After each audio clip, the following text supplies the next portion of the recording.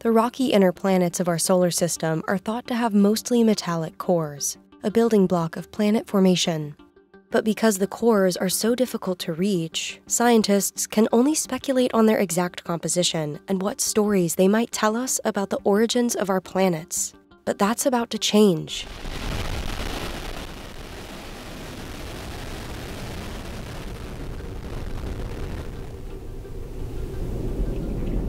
Vehicles pitching downrange. This is the first time NASA has ever sent a mission to this type of world, a mostly metal world. Here's a look at a NASA mission to the asteroid Psyche, what scientists think is a metallic core from a planet that never formed, and how the mission could tell us more about the origins of planet Earth.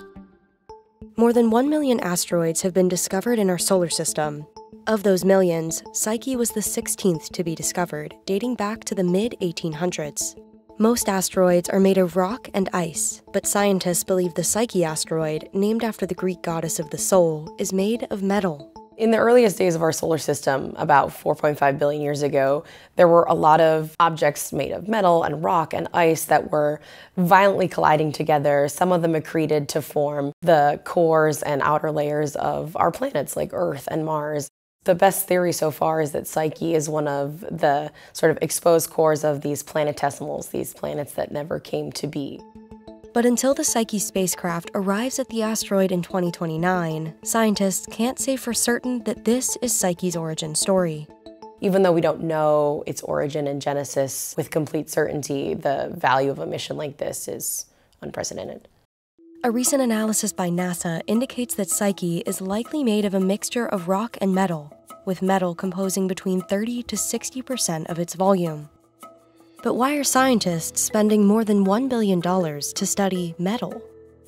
The fact that it's possibly the exposed core of one of these protoplanets is significant because Earth formed from the accretion of, of many, many protoplanets. And so Psyche is one small microcosm of a building block of what came to make Earth Earth. Earth's outer core lies at a depth of over 1,800 miles. So far, scientists have only drilled down about seven and a half of those miles, because that's as far as our current technology can take us.